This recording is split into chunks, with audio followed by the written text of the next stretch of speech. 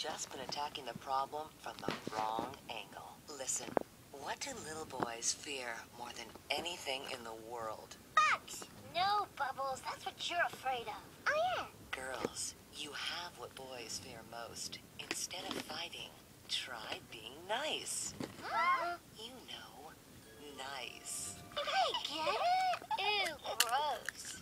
What are you people talking about? Come on, girls. Let's go get him. Good luck, girls.